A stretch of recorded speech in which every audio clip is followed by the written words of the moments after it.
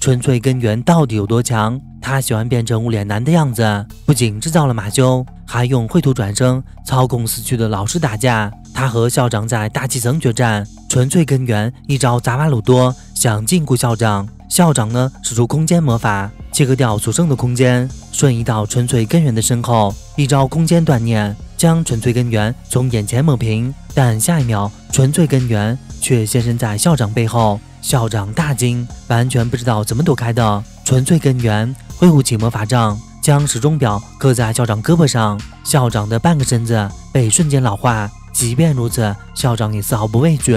他使出大招“空间断念切割”，几十条切割线包围住纯粹根源，不给任何他逃跑或施法的机会。切割线消失于一点，校长累得气喘吁吁。这回总该消灭纯粹根源了吧？然而，纯粹根源早就跑到校长背后。校长这回是真的惊到了，纯粹根源的战力远超他的想象。纯粹根源再次发动时钟表。直接炸掉校长的手臂！就在纯粹根源自认为稳赢时，校长释放出神杖的全部魔力，竟然使出压箱底的绝招——空间魔法三节。只见一道强光掠过，校长就将纯粹根源拖入领域，并召唤出天空之神乌拉诺斯。校长能击败纯粹根源吗？不觉来讲一讲。OK，纯粹根源入侵魔法学院，马修和小伙伴英勇抵抗。塞尔大爆料：马修竟然是纯粹根源的亲儿子。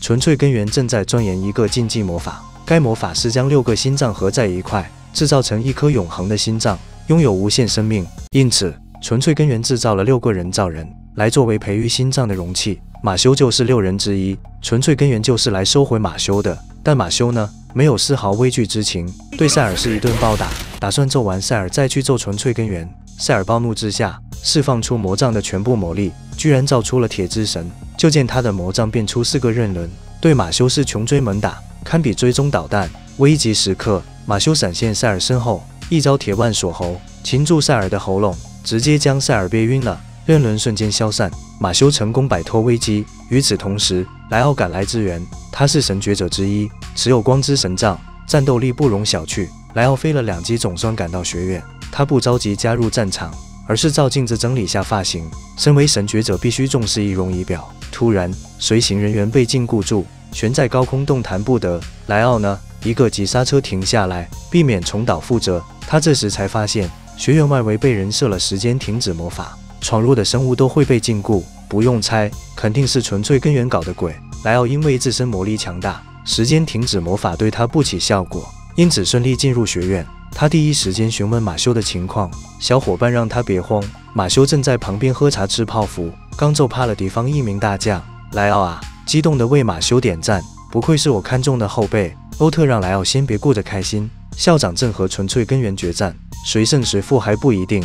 莱奥急着要去增援，然而大家都不知道决战的地点。这时马修表示他去找吧，说完就狂奔出学院。众人呢，只好将这个重任交给马修。欧特要审讯塞尔，想问出纯粹根源的真面目，没成想黄沙竟然被防护罩挡下，紧接着。塞尔就被转移走了，众人大惊，肯定是塞尔的同伙干的，一定藏在附近。欧特去找敌人，其他人则留守学院，毕竟学院还有被禁锢的数千师生，如果敌人发动突袭，后果不堪设想。这样一来，大家就被牵制在学院，只能寄希望于马修尽快找到校长。同一时刻，校长正和纯粹根源在大气层决战，两人曾经师出同门，都是亚当培育的学生。亚当是有史以来最强的魔法使。魔法教育就是由他建立的，包括魔法局。可以说，亚当一人奠定了魔法世界的格局。校长清楚记得，亚当老师的理想是创造一个平等有爱的世界。他赋予魔法使的职责，正是保护天生没有魔力的人。只有身居高位的人，以正确的方式将世界引导向正确的道路，理想世界才会实现。亚当老师离开人世后，校长继承了老师的意志，并始终牢记老师的教诲，为此而努力奋斗着。但纯粹根源呢？认为老师的话是鸡汤，完全把老师的教诲抛在脑后，为了追求更完美的形态，到处做坏事。校长啊，对纯粹根源事迹愤怒又惋惜。两人一番激战，校长不幸被炸掉了手臂。纯粹根源自认为稳赢了，只有割舍一切，只为自己而活，才能成为最强。校长正是因为过于坚持保护同伴，放不下对弱者的同情，才会有今天的下场。校长呢，在这一刻想起年幼时的经历。那时的他性格懦弱，各科成绩全班倒数，没有人和他玩，因此他封闭自我，不愿意和外界接触，自认为是一个没用的人，同时对世界充满了憎恨。直到某天，亚当老师来到家里，一边给他讲有趣的故事，一边邀请他回学院。起初，他很排斥亚当老师，不准老师进他家门。结果，老师来得更勤快了，即便刮风下雨，老师仍然会来。后来的某一天，校长啊，忍不住问老师为什么要这么执着。老师解释：“我不能看着你掉入地狱深渊。”校长开心地笑了，原来还有人在乎自己。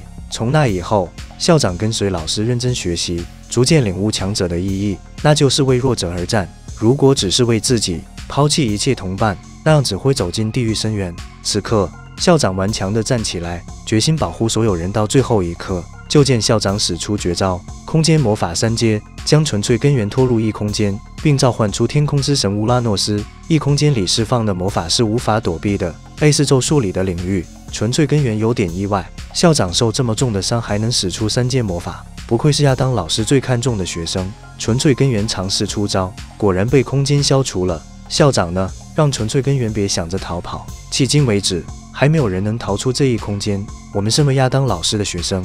今天就做个了断吧。只见乌拉诺斯转动起魔法球，就在校长要发动攻击时，时间突然停止，校长和乌拉诺斯被瞬间禁锢。纯粹根源满脸不屑：“我的时间魔法是无敌的存在，能够暂停任何空间内的时间，我才是真正的强者。”纯粹根源使出一招时间剑雨，铁剑击穿校长身躯，时间正常流转。